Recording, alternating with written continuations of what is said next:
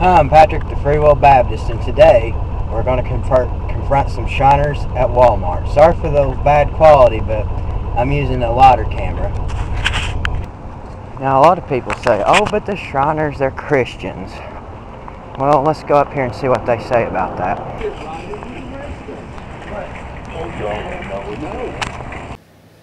The uh, local Shriners started their usual ritual buying for money in my town.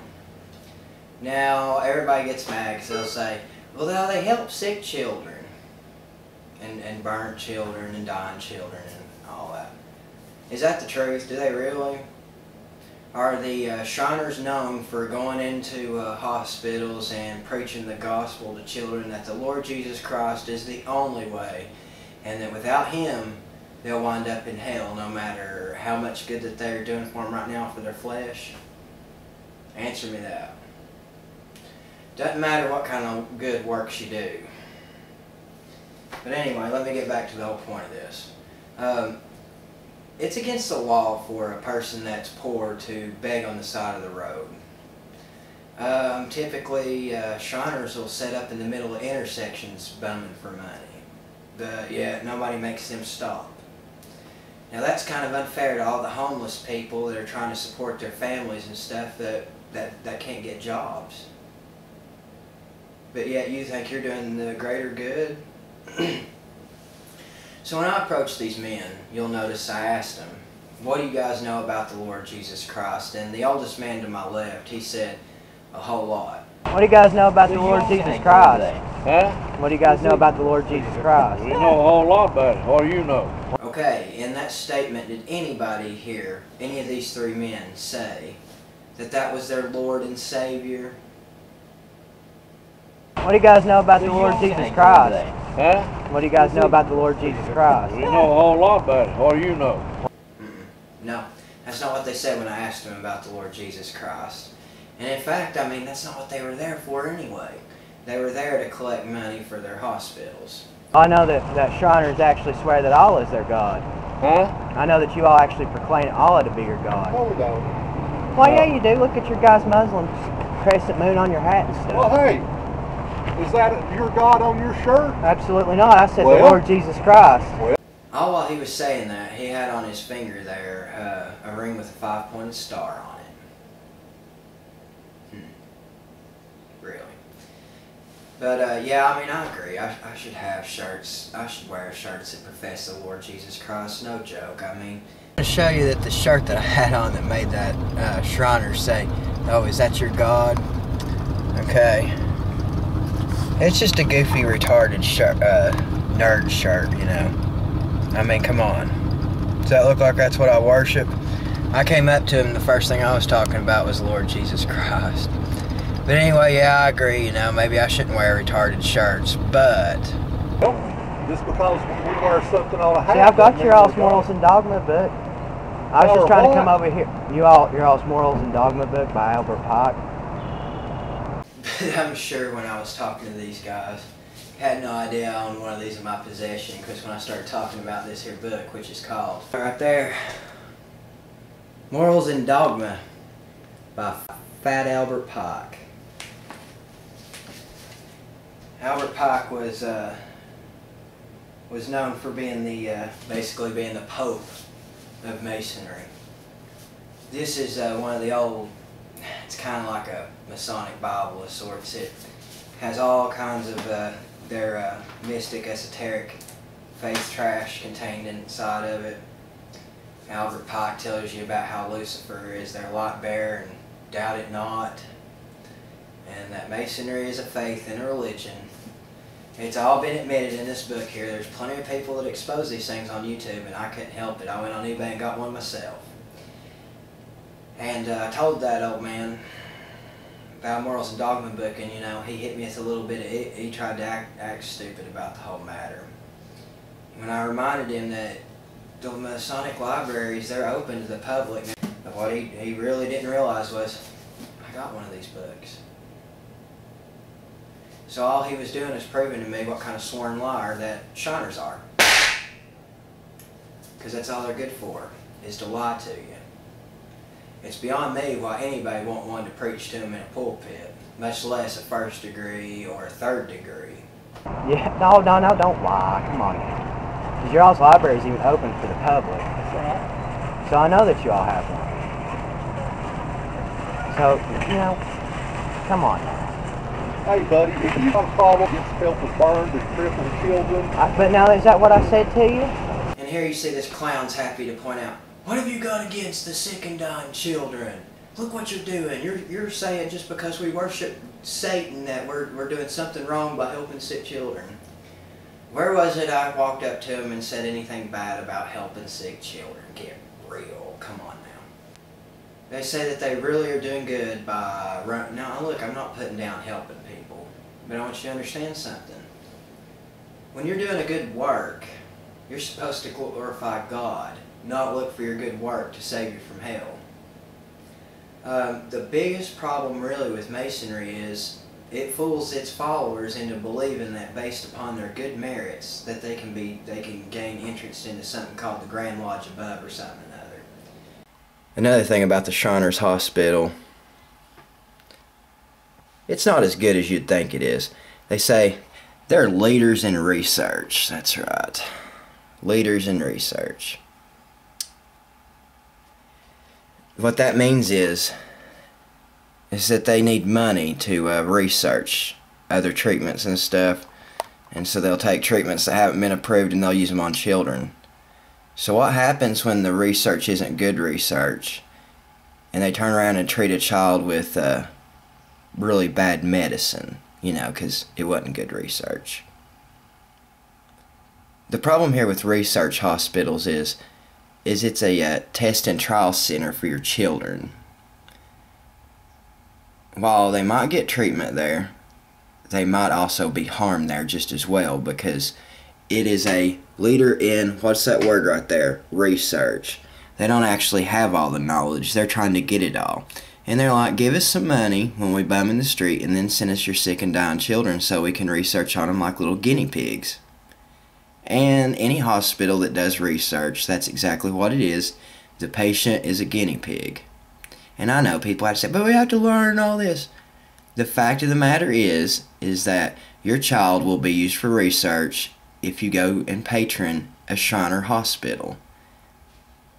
They will use new new methods on your child and use your child to watch and see what kind of side effects they get from the treatments and whether or not it works or wastes their time or kills your child. So, if you want to uh, go to one of the leaders in research, go to the Shriners Hospital.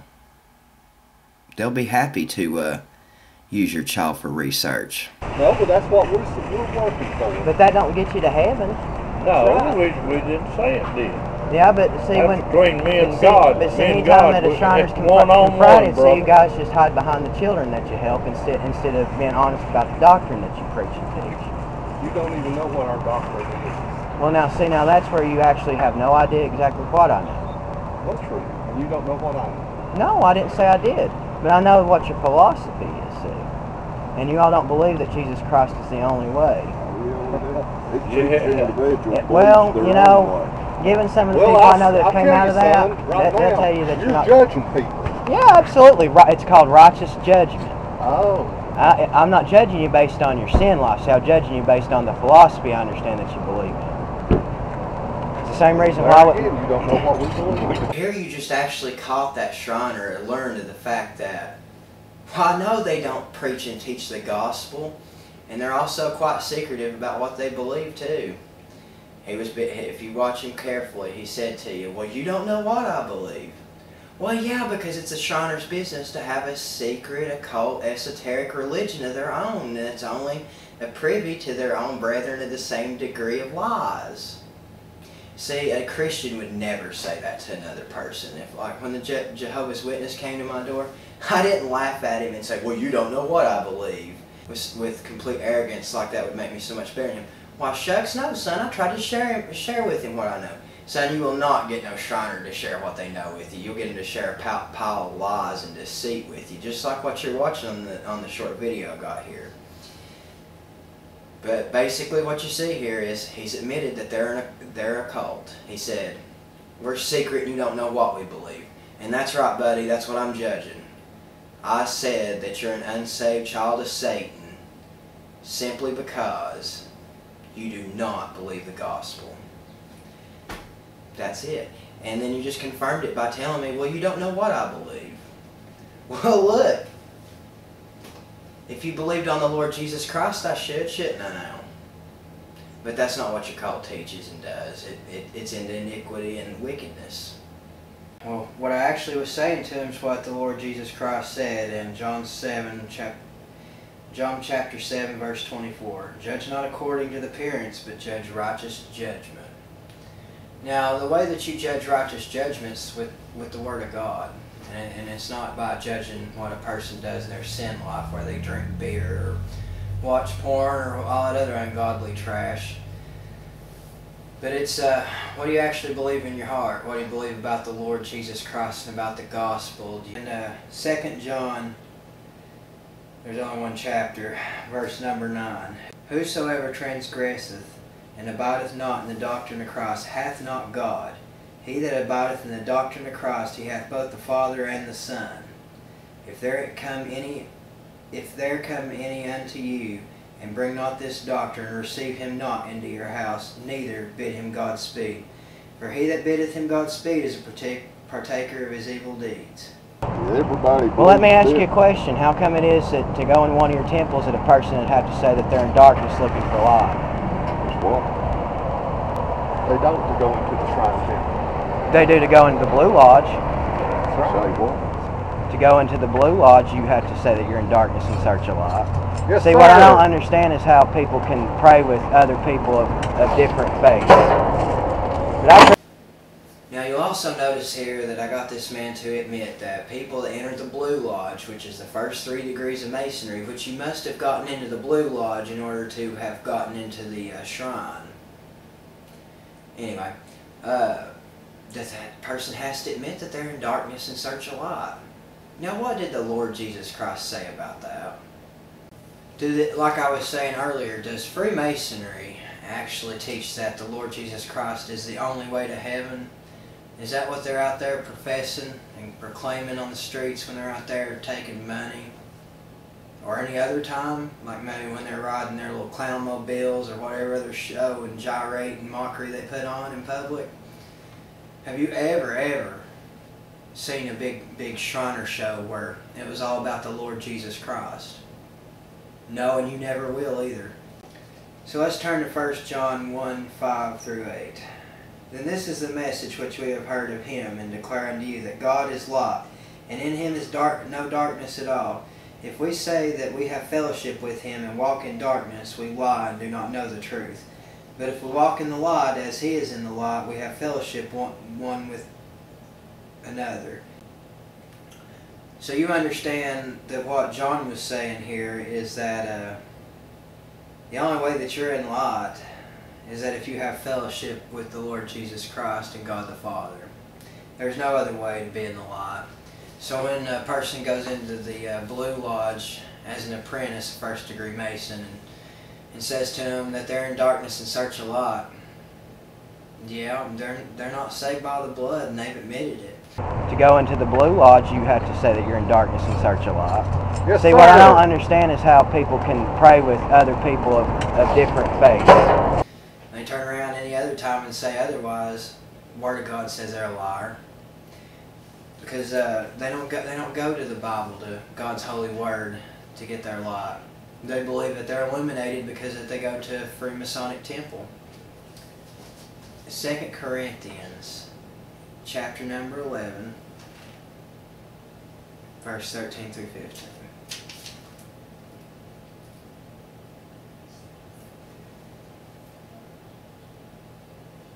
For such are false apostles, deceitful workers, transforming themselves into apostles of Christ. And no marvel, for Satan himself is transformed into an angel of light.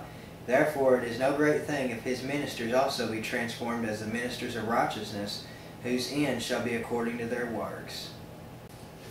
So, um, the devil's been transformed into an angel of light, and the Bible says don't be shocked. Even his ministers are even going to have some kind of an appearance of righteousness. To go into the Blue Lodge, you have to say that you're in darkness and search a lot. Yes, See what? And the Shriner says to me, But we helped us sick children. Hey, buddy, if you have a problem against helping burned and crippled children, Do you now? So turn with me, if you will, to 1 Timothy 1 3.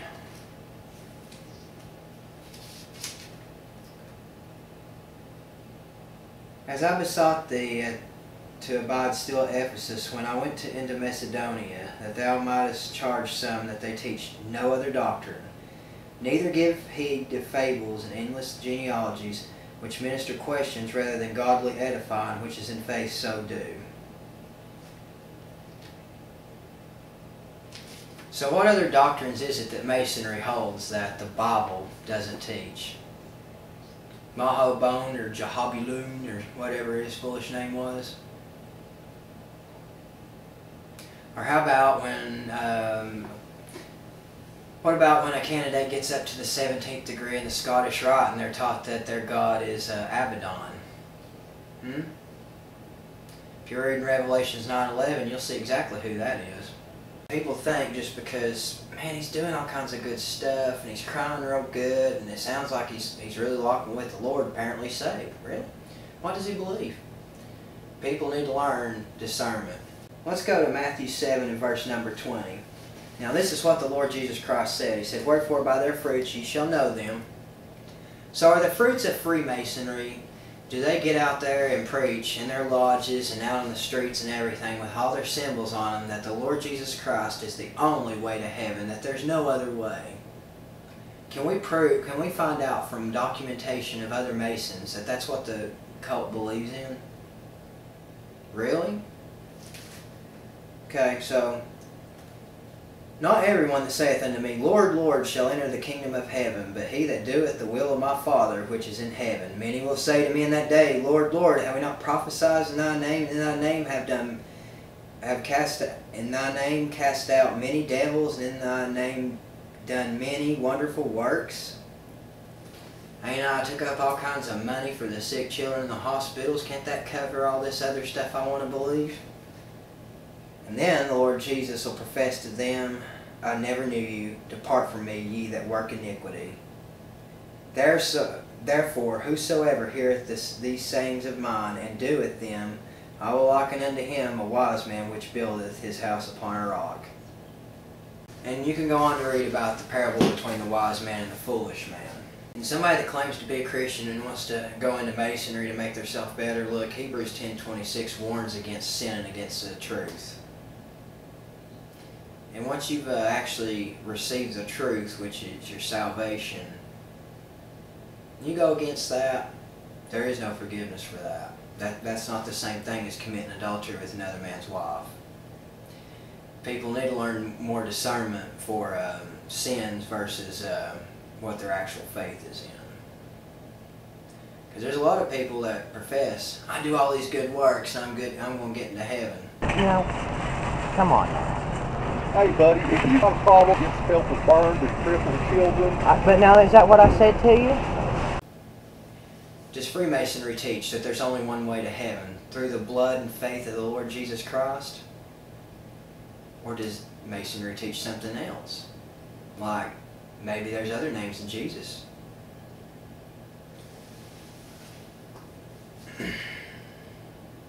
I'm waiting for your answer. I'm sure that a lot of Masons and stuff, they're going to have all kinds of hateful things to say about it, you know, but the fact of it is, this is the this is the uh, hard fact of the truth, believe it or not. But uh, Masonry does not teach that Jesus Christ is the only way to heaven. No, no, sir, not a bit. Just a couple of days later, while I was going down another street, uh, there was actually a woman out there begging for money for the Shriners. I've never actually seen that, so I had to ask her. Ma'am, are you really collecting money for the shrine? I can't hear you. You really collecting money for the shrine? Yes. Are you an Eastern Star? No. How do y'all collect money for, for the shriner? I just thought they let men do that. My husband's over there. Oh, okay. Have a good day. Hey, how come it is you all don't tell people about the Lord Jesus Christ? They do. They do not. They do so When? in their meetings. That's a lie. Okay, so the lady says to me that, oh well, they, they talk about Jesus in their in their meetings. Really? so they just that's the only time they talk about Jesus, just in their meetings. Well, okay. But there's another problem with what she said there. The woman also admitted that she wasn't a Shriner. Now, how is it that she knows what the Shriners actually believe if she's not a Shriner? Because the Shriners say to me, now you couldn't know what the shrine teaches unless you go, unless you're in it. Hmm. So, either this woman's husband's broken an oath and told told his wife about the things that go on in the shrine, or that woman was lying. Yeah, I really think she was lying. Now, she might have been lied to by her husband. He might have tried to tell her that, oh, it's a Jesus organization, but oh, get real. With the Muslim symbol and everything on there, and the Egyptian symbol, and the satanic five point star, and all, and being a former Satanist, I know about the goat, goat head of Mendes star and all, and you know, the Christian wouldn't want it, I promise. It's a curse. Here, here's the third thing. She said they just talk about Jesus in their meetings. They, they don't publicly, like I, like I was showing here, they don't publicly go out and try and, and preach the gospel to other people, if they even knew what it was. Their, or- their organization's about doing good works, not about preaching the gospel. That doesn't make it a good works organization then if they're not going to do it in the name of the Lord Jesus Christ. Now I want you to understand something. I'm not sitting here talking about how mean people are just because they want to help children. If they really wanted to help sick children, they'd be giving them the gospel so that when they grow up they can be born again and that they can go into the kingdom of God like good children instead of going on to hell. But the truth of the matter is, that's not what the Shriners organization does. ShrinersHospitalForChildren.org And here at their page, when you click on care to see what kind of care that they'll give you, it says Care Beyond Cost. We are committed to providing the best care for children in our specialty areas. Now, these are my words of research orthopedics, burn care, spinal cord injury, and cleft lip and palate, regardless of a family's ability to pay. Now that's a really good thing that you know that there there's hospitals that just does not care about a family's financial status that they will provide care for children with injuries and birth defects. Or anything else at, at that even for other people but especially for the children. I, it's no joke. It's heart-wrenching to watch a child suffer. Being a parent that's our, that's lost a child before it's something I wouldn't wish on wish on my worst enemy is is the death of a child or injury or malformity. But the whole point of what I was trying to say here is I'm not talking about them helping people in pain. I'm saying they won't give them the gospel so that they can be saved and so when they when this life here in the flesh is over with that they might be saved from hell. They don't Shriners aren't known for teaching them how to be born again. They're just known for these hospitals and these works. And that won't cover a multitude of false doctrine. I was unable to find anything on their website about the Lord Jesus Christ. Not one single thing. Not a mention of his name. So you're going to have a hard time trying to tell me how that the hospitals also win children to the Lord too because I'm going to have to say I don't know anything about what you're talking about because the website doesn't say that that's the care that you provide. It's only about providing care for people that can't pay and doing research while they're doing the care. That is all the website teaches about. Oh, and of course, if you want to become a Shriner. But not if you don't. It, but they don't have any links about becoming a born again Christian. But the fact of the matter is, um, the lower degree Masons, they may not have a slightest clue what's going on. Lots of them are innocent, but I don't understand how innocent you can really be when you claim you're in darkness. I mean, what I'm telling you here, guys, is there's not a person that goes into the lodge that says that they're in darkness in search a light that's a saved person in the body of Jesus Christ. In order to be in the body of Jesus Christ, a person would have to come out of that. a person filled with the light of Jesus Christ is not going to go and tell somebody else that they don't have it. Because if you do, and you, I mean, if you claim such, then you make Jesus Christ a liar. So who's a liar, you or the Lord? It's very important, my friends, that you understand and learn proper discernment for who the brethren is and exactly what organizations stand for. Anything that is secretive, that there's levels to, that you'll you'll have to get to a certain level to attain to understand what, you know, what all the upper ones do. Listen, it's like this. The ones that are on up in the in the 15th to the 30th degree, they know a lot of things that the uh, lower sheep that are meant to be sheared in their ignorance have no clue what's going on. So consider this. The people that are higher up, especially considered Shriners, or on the uh, the other end of it, uh, the Rosicrucians, um, you'll have to greatly consider this. They lie deliberately to the members of the lower degree and prey on their prey on their ignorance. Now, what kind of Christian does that? That's not part of being a born again believer, blood bought by the Lamb of God. I urge you, friends and brethren, be very, very careful. There are many people that seem good and seem righteous and seem godly.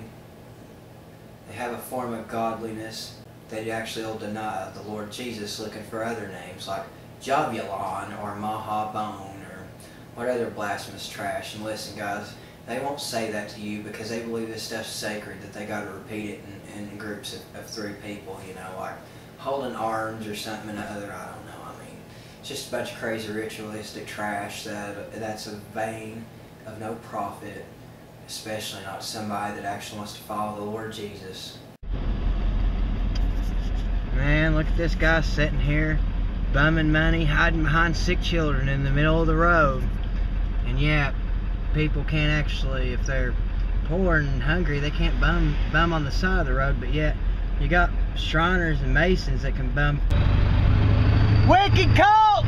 But at the end of this, uh, Masons are well known for swearing oaths. There's two really good scriptures that tell us not to do this. Now, of course, a dispensationalist, they're going to say, now, now Jesus wasn't talking to you, and the book of James wasn't written to you either. But, you pray and ask God, so did the Lord Jesus Christ ever talk to you? Or was he just talking to another group of people? So let's read in Matthew 5, 33. Again ye have heard that it hath been said by them of old time, Thou shalt not forswear thyself, but shalt perform unto the Lord thine oaths. But I say unto you, swear not at all, neither by heaven, for it is God's throne, nor by earth, for it is his footstool, neither by Jerusalem, for it is the city of the great king. Neither shalt thou swear by thy head, because thou canst not make one hair white or black. But let your communication be yea and yea, and nay, nay, for whatsoever is more than these cometh of evil. Hmm. So the Lord Jesus Christ was saying right there plainly, somebody's trying to make you promise, affirm, swear, pledge, all that's coming. That all that's from evil. So turn with me, if you will, to cha James chapter number five, verse number twelve. Above all things, my brethren, swear not, neither by heaven, neither by the earth, neither by any other oath, but let your yea be yea and your nay be nay, lest you fall into condemnation. So that should be enough scripture there to show you that Freemasonry doesn't line up with the Bible at all. Um, I'm going to make all kinds of future videos showing that Masonry is not compatible with being a born-again Christian. It's only compatible with being a terror. There's lots of people that profess Jesus that aren't saved. There's tons and tons of churches full of them. And it's not just Masons that do this either. But Masons have a lot of people confused by their good works that somehow they're following the Lord. But, well, they don't always profess the name Lord Jesus Christ. They're on a search for another name. Anyway, again, thank you for your time. Please watch the rest of my videos. I got plenty more on Masonry and other salvation studies. There is only one way to heaven, and that is the Lord Jesus Christ. You'll need to meet him in the King James Bible. Make sure you find yourself a, uh 1769 Pure Cambridge edition. Don't get you one of those modern perversions that uh, help teach false doctrines. Repent if you're a Mason. All you got to do is get out of Masonry. Just, just renounce that trash. Repent and turn to the Lord. You cannot be saved if you believe what Masonry teaches. You can't hold other doctrines contrary to the doctrine of Christ. Repentance is necessary for people to be saved. If you must, you must repent of your wicked unbelief. So anyway, thank you again for your time. Praise the Lord Jesus Christ and have a good day.